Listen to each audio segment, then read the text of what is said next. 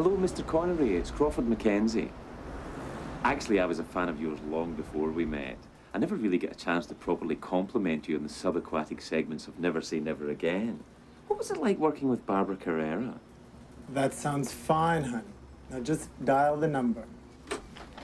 Hello, 007. It's the Hairmaster. Are you concerned that Sean might not remember you? Do you think I could have some privacy, please, Martin?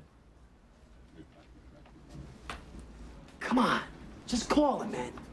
Come on. Right, all right. Why don't you just go back? Okay? Hello?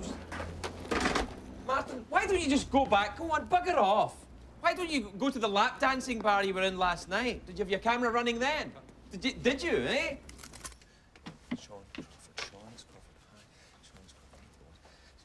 Hi, Sean, it's Crawford Mackenzie. You probably don't remember me, but I was the one that steam cleaned your hairpiece at Gleneagles when it blew off at the fourth green during the Benny Hill Pro Am. Happy days. Anyway, I was wondering if you could write a letter to HAG telling them what a great hair.